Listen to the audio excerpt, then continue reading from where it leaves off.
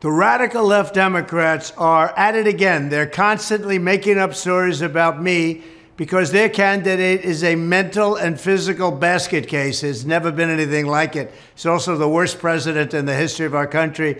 He went on a very poorly rated show last night and he talked about Donald Trump and his wife. I don't know the name of my wife. You got to take a look at the other guy. He's about as old as I am, but he can't remember his wife's name. Yeah. And, uh,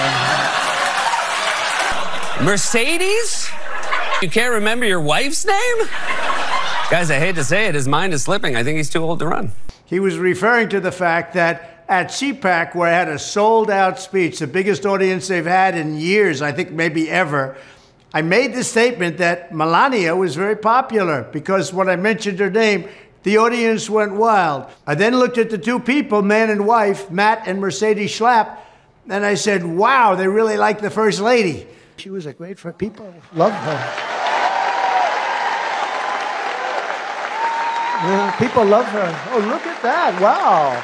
Mercedes, that's pretty good. Yeah, she's good. So this got taken as the fact that I thought Mercedes was the first lady. It has nothing to do with that. These people are really dishonest. They are absolutely something. They have a horrible candidate who's a horrible president. They make up things constantly. You take a look at when I use Barack Hussein Obama and I interject him into where it's supposed to be Biden, and I do it purposely for comedic reasons and for sarcasm, because a lot of people say that Obama's running the country, not Biden, because he's sleeping all the time. They say, Oh, I don't know the name of the president. Or when I imitate this guy getting off a stage, he always goes like this.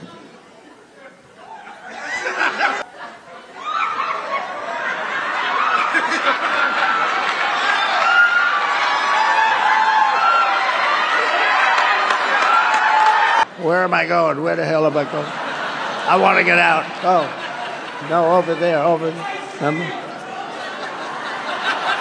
What they do is they say, oh, he had trouble getting off the stage. I have no trouble getting off the stage. Anybody that watches what I do at rallies would say, wow, that's amazing. He can go two hours without a teleprompter, not making even a little mistake. Very few people, maybe almost nobody, can do what I do. So here's the story.